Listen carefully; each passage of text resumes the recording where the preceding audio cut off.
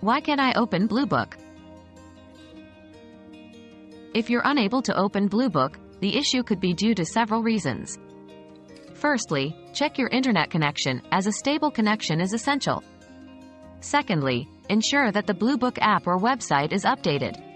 Outdated versions can lead to functionality problems. Thirdly, clear your browser's cache or the app's data, as accumulated cache can sometimes hinder app performance. If these steps don't resolve the issue, consider reinstalling the app or contacting Bluebook support team for more specific guidance.